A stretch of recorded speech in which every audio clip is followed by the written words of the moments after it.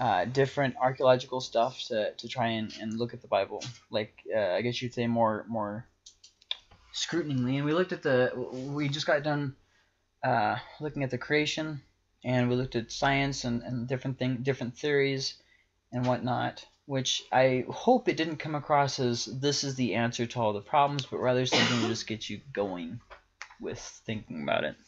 Um, now we're going to take on to the next section uh, of the Old Testament. Um, that would be the period after the Garden of Eden and before Abraham. So there's a lot of stuff that happens in there, um, a lot of stuff that uh, we need to look at. Um, the genealogies, this person, the son of that person, the how how long people lived, the um, the Tower of Babel, the flood, and tonight we're going to start off looking at um, just kind of dating when these things happened. Um, if you know anything about um, uh, Bible history, you know that traditionally the flood has been dated to about 4000 BC or so, uh, sometimes a little bit before, sometimes a little bit after.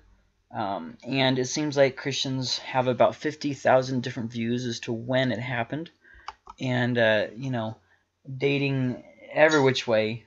And you've got everybody calling everybody else an idiot. so we're just going to look more at the bare facts of it rather than getting caught up in that stuff. Um, so the question then becoming, if they happened, when did the flood and the Tower of Babel happen? Now, why I say if they happened is because there's some people who think that these stories didn't actually happen. So that's something that needs to be considered. Did they actually happen?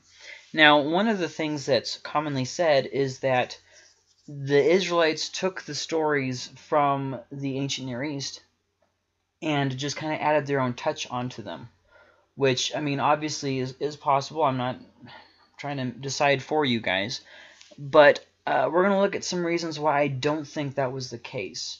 Um, obviously, one of the first things being they didn't steal every story. See what I mean? There was only a few stories that relate. And then second off is that the stories are so different that it's hard to imagine what their purpose would have been in just taking a story that already existed. But still, we will we will consider that and we'll plow ahead. So in order to know when did the flood happen, we kind of have to look at when did the Tower of Babel happen. Um, and we know that at the Tower of Babel that all people were living in one city. So let's look at you know how old cities are. The the oldest city that has been continuously lived in is the city of Damascus. They believe that it um, had people living in it off and on uh, all the way back until 8000 BC. Um, so some 10,000 years ago, maybe as far as up to 10,000 BC, we see um, we see uh, cities being built. So we know that Tower of Babel had to have been before that, because at the Tower of Babel, everybody lived in one city, and now we're finding cities here. I mean that date back. So we know the Tower of Babel had to have been before 10,000 BC.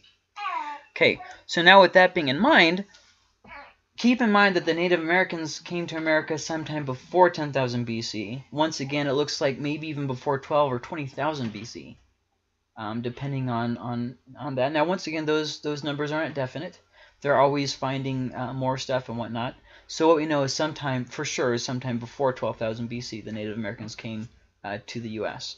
And uh, so, so that's something to keep in mind. So the Tower of Babel would have had to have been before the Native Americans came here. You see what I'm saying? So, uh, because probably because according to the Bible, the reason why the Native Americans came here was because of the Tower of Babel. So that's something we have to think about. Um, most, if not all, people lived together until the Tower of Babel. I already said that. The Tower of Babel would account for the Stone Age, which, by some estimates, go back millions of years, all the way up in the in the Near East, all the way to 6000 BC. So and why, why I say that is because we know that people lived together, and then they were dispersed out, and they became what's called hunter-gatherers.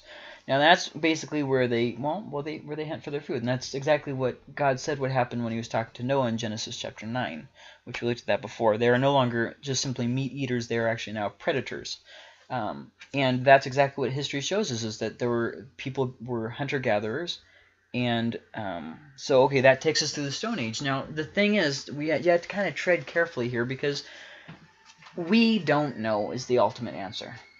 The oldest civilizations they we we think are in Africa. or we're from Africa, but we don't know if they quote unquote evolved there or if they migrated there. See what I mean? So there's a lot of ifs, ands, and buts. And what people don't understand is when you go that far back in history, it's very difficult to know things for certain. So we really can't say with absolute certainty what the Bible says happened didn't happen because we don't we don't know.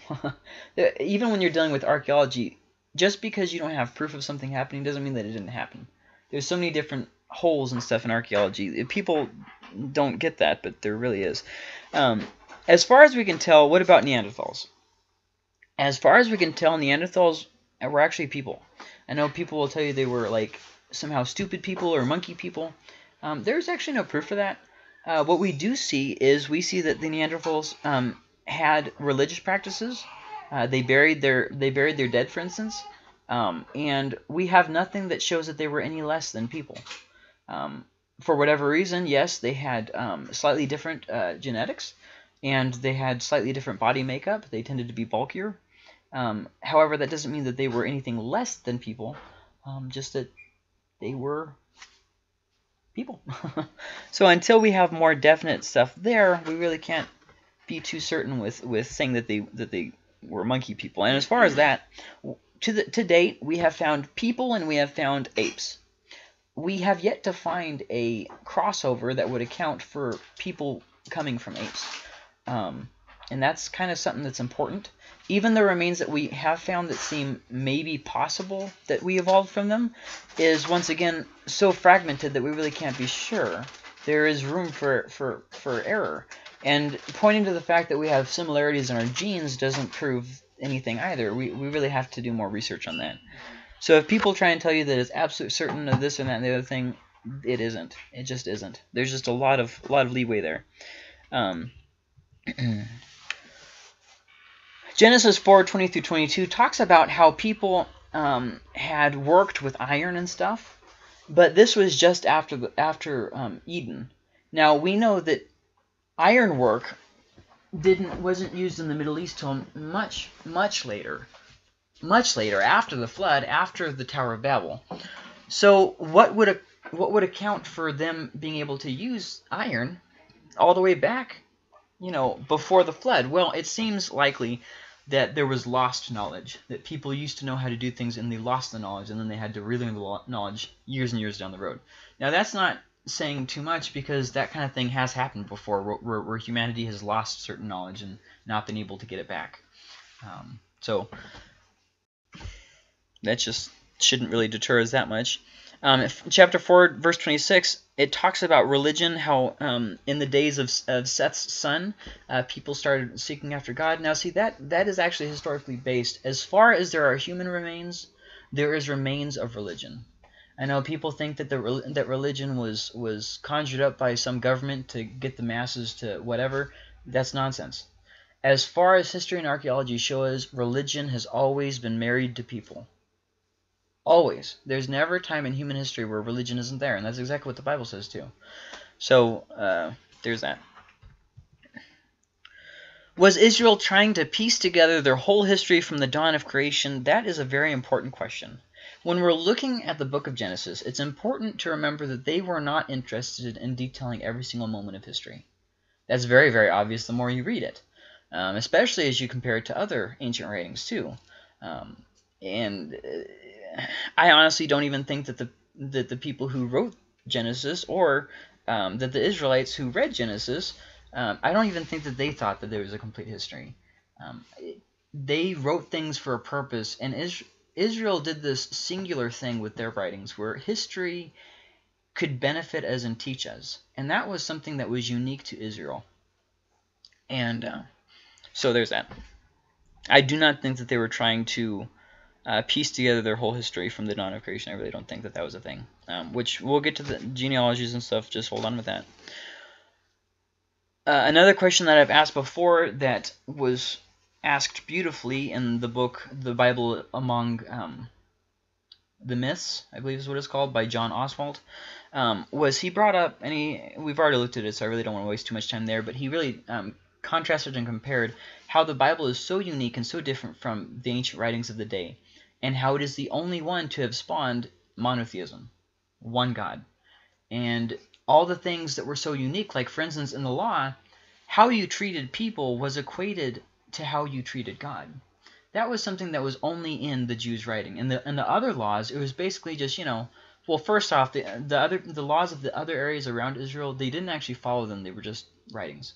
But then second off, um, they really didn't make the connection about in Uh, loving people is loving God. They never made that connection. The, the, the Israelite, the, the books of the law and the Bible are, are singular in that. They, they're the only people who did that. Why was it so different from other myths? Why, why did, why did the myths in the beginning of Genesis? Why were they so different? Why could, first off, why would they have made them different in the first place? Why wouldn't they just adopted the myth if that's what they were doing? Second off, why were the myths so much more focused on morality when the other ones weren't?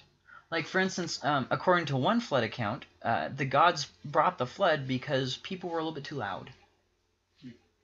And there's no there's no promise from God, from the gods either that oh no we won't defeat you or in the future we won't drown you again. There's nothing like that. Yet in the Bible there is. Why? Why these these little differences that make it so much different?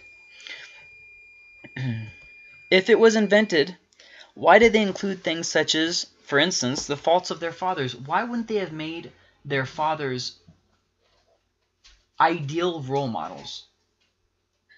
Why would they have included their faults? That doesn't make sense. Especially as some some people believe that Israel that the Bible was written rather late, and Israel was just a, a warring tribe that was trying to in, intrude in Canaan and take over the land. Well, if that's all that they were trying to do was take over land that wasn't theirs, why oh why, thank you, wouldn't they have given themselves more right to the land? Israel's ancestors didn't come from the land of Canaan. See I mean? If they were trying to say, hey, we belong here, wouldn't they have invented a story about, hey, we did actually belong here, we were here before you? Why, why would they have included all the faults? And then there's the issue of why would Israel as a nation accept a lie that they themselves manufactured? And why would they follow that lie throughout the generations?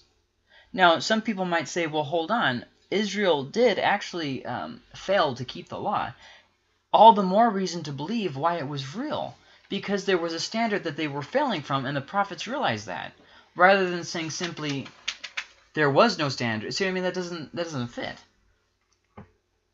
So if it was only written to give a Jewish spin on other stories, the other stories of the ancient Near East, where did they get the idea from, and why wasn't there more overlap with the other stories? That's a very important question.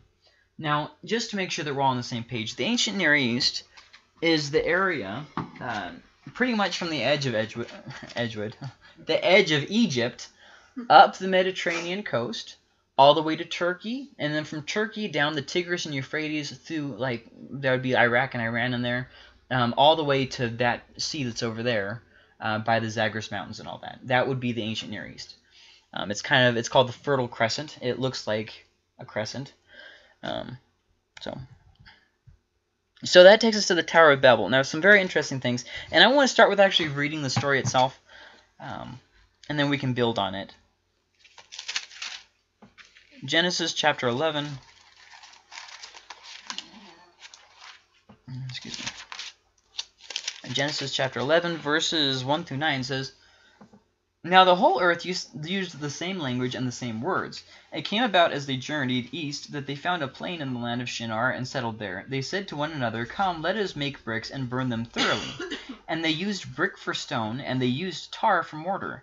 They said, Come, let us build for ourselves a city and a tower whose top will reach into heaven, and let us make for ourselves a name, otherwise we will be scattered abroad over the face of the whole earth. The Lord came down to see the city and the tower which the sons of men had built. The Lord said, Behold, they are one people, and they all have the same language. And this is what they began to do. And now, and um, began to do. And now nothing which they uh, purpose to do will be impossible for them. Come, let us go down, and there confuse their language, so that they will not understand one another's speech. So the Lord scattered them abroad from there over the face of the whole earth, and they stopped building the city. Therefore its name was called Babel, not Babylon, Babel because there the Lord confused the language of the whole earth, and from there the Lord scattered them abroad over the face of the whole earth. Okay, so let's just kind of take a few things here. We didn't even know that there was a Stone Age with people, you know, traveling all around the world. until relatively recently. And here we have the Bible actually saying, hey, this is what happened. So then you have people like Columbus and whatnot coming to America and finding these Native Americans and saying, hey, how do these people fit in? When the truth is, the answer was right there all along. We just overlooked it. so there's okay. Well, I'll, I'll try and I'll try and remember everything because there's, there's really a lot to go through here. Um, first off, uh, some people have said these uh, the Tower of Babel are the ziggurats. These, if you're familiar unfamiliar with um, with the ancient Near East, I'll just kind of plop ahead here. Oh, right there. These are the ziggurats. I'm sure you've seen them in history books before.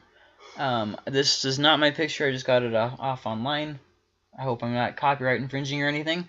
But uh, there's there's those. Now those are the ziggurats, and some people have said, "Oh, that is the Tower of that. Those those are the Tower of Babel because hey, it's over in that area where the Tower of Babel supposedly was." Well, here there's a few things. First off, the Tower of Babel was never finished. The ziggurats were. Second off, the Tower of Babel, there was one of them. There was one tower, singular, of, of Babel. The ziggurats are all were all over the place. So we know that that can't be it. Third off, the ziggurats weren't built until the 2000s BC, and we already said that, said that the Tower of Babel had to have been before 10,000 BC. So it couldn't have been the same tower. So then that takes us to the next thing. I already said all those things. There's many of them. They were all finished. They're not old enough. So then that takes us to the next thing. The Tower of Babel, or I should say, the ziggurats have a similar design to the pyramids of Egypt, Egypt, and the Native American uh, pyramids, all of which were built after 3000 BC. Okay. Now I want you to re recognize how important this is. This is a ziggurat. This is a pyramid. I'm sorry. This is the Native American pyramid. That's in South America. And then here's the Egyptian pyramid. So we have three different cultures building pyramid-like objects that are like towers that go up into the heavens. Okay, now with that being said, these were all built after 3000, after the Tower of Babel would have had to have been built. And so there's no reason to assume that they are not based off of the Tower of Babel, rather than assuming that the Tower of Babel is based off of them. It is possible, for instance, that after the Native Americans came to America, they they had this story about this big tower that they were building, and so they built a big tower where they came here. That's possible, isn't it? Now, if you read, if you're familiar with modern history, you know that they'll say something like this. The Israelites saw the pyramids, they saw the ziggurats, and so they made up a story about a Tower of Babel.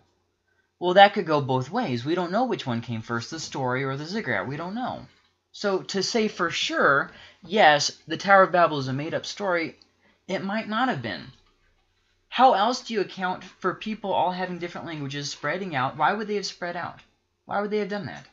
There would have been more security in staying together, which they had more security in staying together in the Tower of Babel. God had to drive them away from each other in order to get them to go. I think that that's kind of a big point. So is it possible that three different cultures retained the story of a tower that they were building. Yes, that's possible. We shouldn't rush to the assumption that the story is not true simply because it's popular opinion. But uh, but also it could be that he meant something else for them. And right. Take it different, you know. Right. Who knows what they were building? With what? The pyramids. Right, right, and that, that's what I'm saying. With all the different history and culture and whatnot, we shouldn't assume that the, the story of the Tower of Babel is made up. Always. Yeah. Okay. Um, and then uh, then we get to the issue of the Tower of Babel being Babylon. Now, I think that such an assumption is drastically overstated. Um, was it in the same area as Babylon? Yes. But that doesn't mean that Israel was saying that the Tower of Babel was Babylon, just saying that it was in the same area. First off, it says that the Tower of Babel was made with bricks. Mud bricks. So the Tower of Babel would have been gone long before Babylon was built. Because mud, when it gets in the rain, you see what I'm saying here? Yeah. Doesn't hold up. Not only that, but if you know anything about the Near East, it, it's it's a floodplain. All the cities in there, they, they cultivated the water. That's how they that's how they had their plants. In fact, it started to get to be a problem because the water had too much salt in it, and so the water and the soil top got what's called salinization. Okay, so that means that the plants were growing more and more terribly. And so the more that they used that cultivation process, the less they were actually able to yield the crops, which is actually probably one of the reasons why Abraham moved from there to Haran, which it's neither here nor there. That's not really important, but just kind of interesting.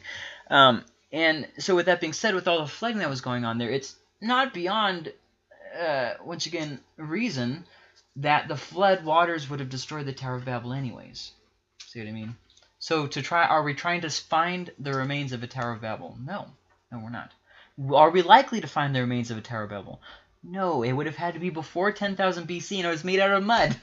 the chances of us finding anything out there is so small, even if it hypothetically was still there, after all the wars that we've had over there, I don't think anything's left. So should that alarm us that we can't find that? No, not at all. Um. Okay. Well, I already said that. Okay, so any questions about that before we we're we're gonna look at this again some more next week, and then we're gonna start looking at the flood and that kind of stuff. But any questions so far?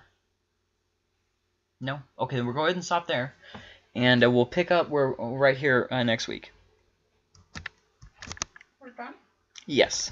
Now, um, what we're going to do is we're going to go ahead and play a game, uh, but we are going to uh, pray first if I can get this to pop up.